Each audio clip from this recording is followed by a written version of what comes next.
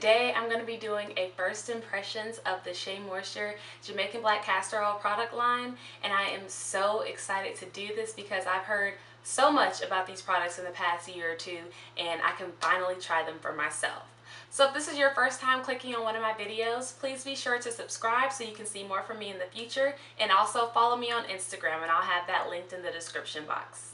I actually already own the shampoo and so this won't be a first impressions of the shampoo. Um, I've used it quite a few times. I've had it for about a year and it's okay. I mean, it's okay. I don't know if I'm using it wrong because everybody seems to love this, but to me, it's just like a shampoo.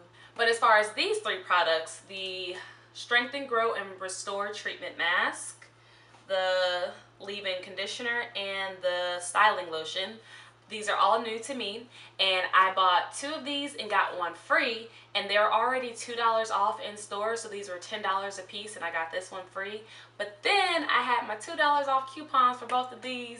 So long story short it all came to like $11 so just to give you a couple of specs on the products it is the Jamaican Black Castor Oil Strengthen Grow and Restore Line and it has organic shea butter Jamaican Black Castor Oil and peppermint in it and it says that it's to nourish, repair, and grow, and it's for natural, chemically processed, color treated, or heat styled hair.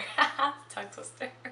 So today is my wash day and I'm just going to jump in the shower. I'm going to wash with the shampoo, detangle with my own detangler. Um, then I'm going to deep condition with the treatment mask and style for a wash and go on camera. So stay tuned if you want to see what it looks like.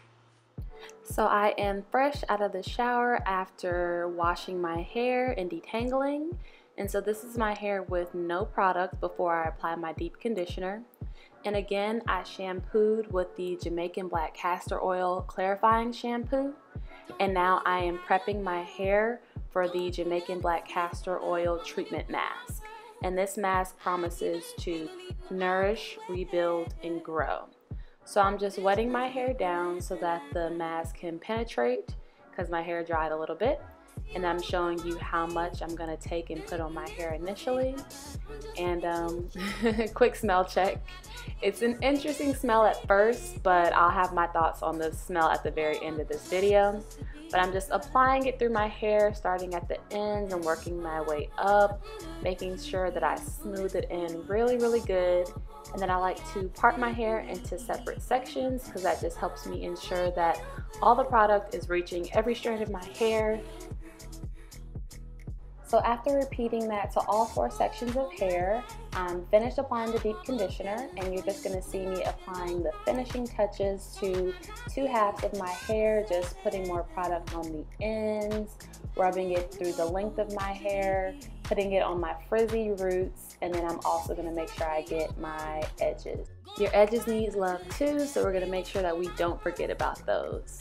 So now I'm just twisting all of my hair into a top knot so that I can set up under the dryer for about 45 minutes to an hour to deep condition. And I am back. I rinsed the deep conditioner out with cool water to seal my cuticle closed. And I'm just going to smell my hair really quick because it was so fragrant. But um, I just like to touch my hair and see how the deep conditioner did with my hair and how it responded. And now I'm just to move on to styling. So I've already applied the products to the three quadrants of my head and I'm working on that last front quadrant now and I'm just spraying my hair down with water so that the product can take as best as possible for this wash and go. And then I'm to take the leave-in and I'm just to smooth that as best that I can through my, my hair. And you can see that because my hair is very, very wet, the curls are already forming on their own and then the product is just enhancing that curl. So whenever you do a wash and go, you want to make sure your hair is as wet as possible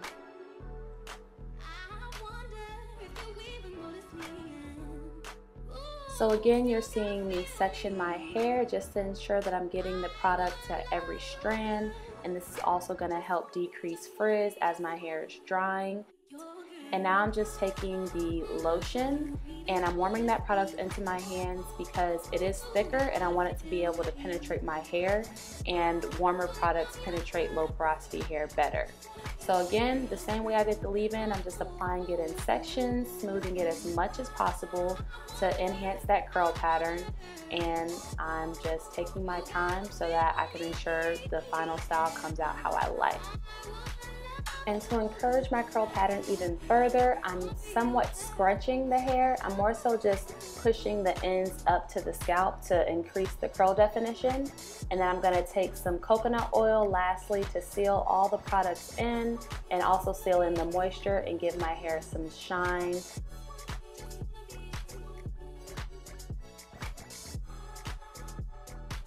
So here's my hair after all the products have been applied to soaking wet hair and the only way to see how it will come out in the end is just to wait for it to dry. So this is how my hair turned out. Um, it's actually about 24 hours since I applied the products because my hair didn't dry last night and then when I woke up this morning it still wasn't dry so I let it just completely dry out and this is what I am left with. So I feel that my hair is very moisturized like it feels like moist almost it still has like there are parts of it that feel dry and I really don't know why that is but there are other parts that are just super soft and moisturized and actually I do know why it feels hard these products give you a, a, gel cast or just a cast from the hold of the products, which is fine. But when I was trying to like scrunch the crunch out, it was really difficult to get it out. Like I was scrunching and scrunching and scrunching and my hair was still hard. So I feel like my hair is just, it's softened up over the past couple of hours and that's why it's starting to feel soft now. But there are still some pieces in here that feel kind of hard. And I mean, that's okay. But um, I wish that, you know, it just all felt soft because it feels a little crunchy and I don't like that. But um, as far as the hold of the products, um, it's okay. I didn't use a gel, so it's expected to have frizz, but I did notice that after applying the products and letting them dry for about an hour and a half, my hair was frizzing as it was drying. And that's not, I don't really like that. So I think these products are really good for moisture, but maybe they aren't the best for a wash and go if you don't have a gel to like seal the frizz out. But let's go through the individual products now. So like I said before, I've used this a couple of times before and I realized why I don't necessarily care for it and that's because it just makes my hair feel very hard after I use it. And um, it's a no lather shampoo it's sulfate free and it's actually supposed to clarify your hair and um, when I use it I don't feel like my scalp is that clean. And if I run it down the length of my hair it dries it out super quickly. And my hair feels very hard. And then I have to use a very moisturizing conditioner to reverse the effects of the shampoo. And I mean it's bearable. Like once I use the moisturizing conditioner my hair is okay. But I'd rather have a clarifying conditioner or a clarifying shampoo that just didn't strip my hair to begin with. So this is okay and like I said this isn't new to me. I've just you know had it for a while and I'll probably continue to use it just to get rid of it but I don't think I would repurchase this. Now the mask the strengthen grow and restore treatment mask. This was actually very good. I don't know how to describe it because it didn't make my hair feel super super soft and it didn't make my hair feel super hard. It just made my hair feel healthy and nourished. And like when I was putting it on it melted into my hair nicely. It wasn't um it wasn't too thick going on. I didn't feel like it wasn't penetrating. Like it definitely went into my hair shaft and I could feel it like in my hair and um, it has it feels very silky on the hair so I like that but upon rinsing it out like I was looking for that super soft feeling that I usually get from deep conditioners and I didn't find that with this but that's not a bad thing because you can over condition your hair and make it too soft it's just really good for giving your hair some nutrients. I don't know how to describe it, but it just made my hair feel very healthy and nourished, and I like that.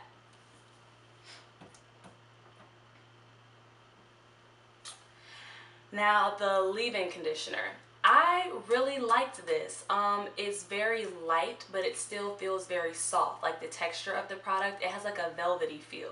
So because it's like, to me, it's like water and velvet put together. That's what it feels like in my hair. So it went through my hair very easy. It glided through. You saw that I like wet my hair down. And when I was applying it, it went through very nicely.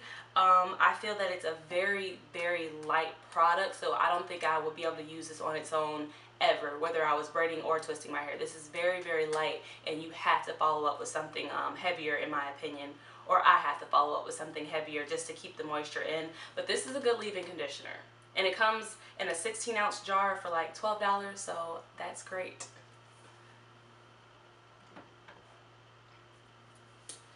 And then the styling lotion, this is my favorite. I, I really like this. I don't want to say I love it just yet because I haven't used it on anything but this wash and go, but I like this a lot. And the reason why I like this is because, like I said, the leave-in conditioner, it felt like water and velvet this just feels like pure velvet like it was so smooth and silky in my hands like I was actually surprised by the texture of it when I was like rubbing it through my hands for the first time and it just glides through my hair and it penetrates my hair very nicely which I'm happy about because I hate when I use thicker products that don't penetrate my hair but it just made my hair feel so good again it made it feel nourished and just moisturized and I think this would be really really good for twists and braids um, but we'll just have to see about that. Another thing that I wanted to mention, the smell of this line to me smells really good. I know some people don't like it, but it smells so good to me. It smells like um, vanilla. It's very strong. Like, actually I can't smell it in my hair anymore, but this morning I could definitely still smell it in my hair. It's just a very sweet, um, warm vanilla scent and I think it smells really good. So I like the smell. I like that it penetrates my hair. I like the price definitely because I got it on sale and I really do feel like it makes my hair feel healthier and like it's actually feeding my hair and that's important. So I give this line a 3.5 out of 5 stars. I really want to give it a 4 but I can't just because of how drying the shampoo is and also how the products don't really do much for frizz when it comes to a wash and go which is completely fine. I just have to buy a styler but I was really hoping that I would get some type of hold just by using the moisturizers. So that's my rating and maybe it will change in the future. And I just want to thank you guys so much for subscribing. Um, I'm very happy that I am able to make these videos and people actually watch them.